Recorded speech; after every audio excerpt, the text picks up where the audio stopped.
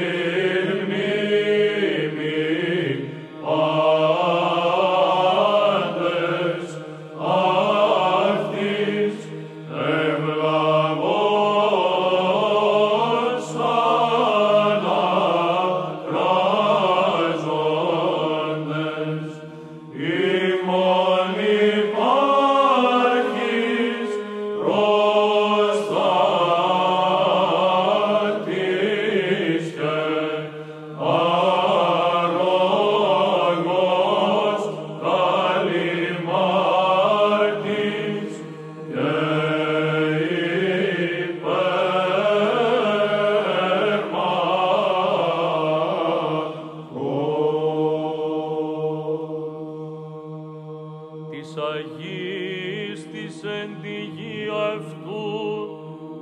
εθαυμάστος εν